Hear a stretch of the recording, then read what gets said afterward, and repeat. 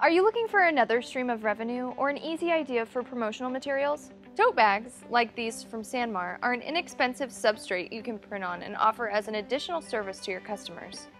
Here are just some of the great benefits of adding tote bags to your arsenal.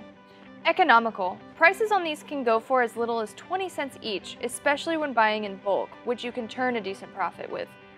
They help our environment. Nowadays, grocery stores charge for plastic bags, and more and more households have switched to reusable bags.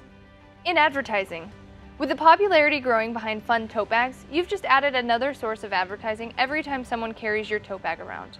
Whether you use any of these ideas or come up with something on your own, tote bags are a great additional revenue source to your business. And thanks for watching the video, guys.